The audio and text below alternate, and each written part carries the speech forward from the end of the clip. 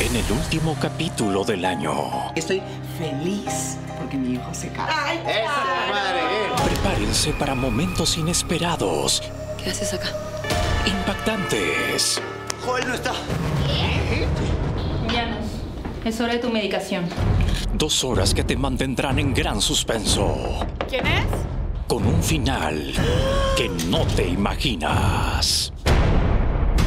Fondo hay sitio, último capítulo del año. Hoy después de EG en América.